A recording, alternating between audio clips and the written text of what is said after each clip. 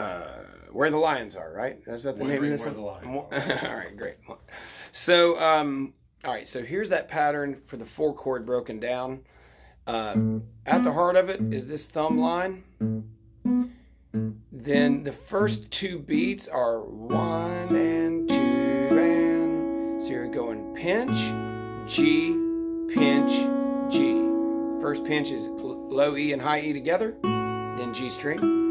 Then you're pinching small, you're pinching D string, B string together.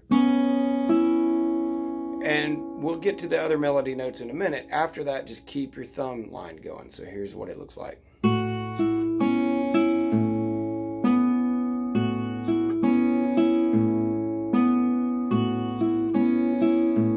that's what got you over the hump in the lesson was just breaking that down.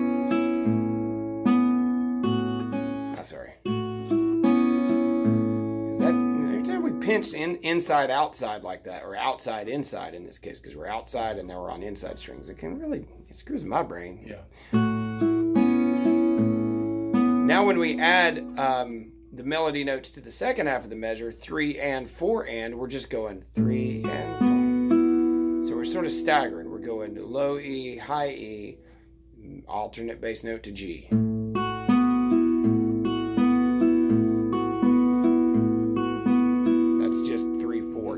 isolated. So now here they are together. I'll go real slow, but I want to keep the tempo. That's the key.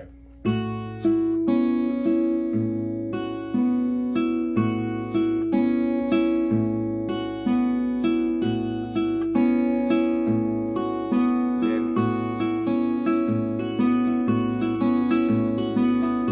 it helps me too because I'm still learning it.